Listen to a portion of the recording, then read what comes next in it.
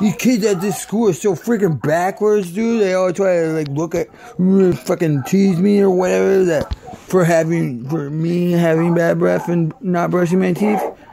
It's like, like my dad told me. My dad told me brushing your teeth.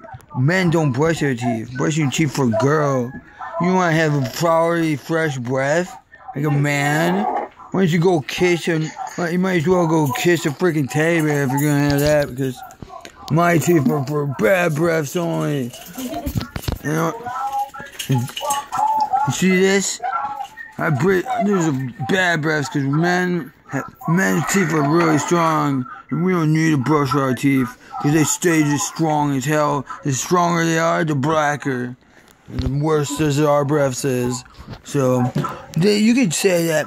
Uh, you need to brush your teeth. I say, uh, you need to not go brush your teeth. Go not brush your teeth and go um. Yeah, maybe you should just go back in time and try to uh, forget that the toothbrush even existed unless you're a girl. Might as well get a tampon with that toothbrush while you're at it.